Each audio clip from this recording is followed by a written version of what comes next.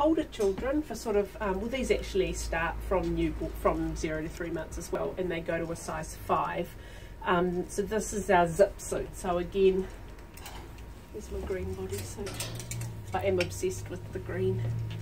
Start with your bodysuit and then pop your zip suit over the top. And then that's your kind of two um, standard layers for nighttime right through winter and then you can add socks to that. Um, but this will mean that your core is really warm and regardless of whether you're using bedding or if you're using a sleeping bag um, we do recommend those two layers.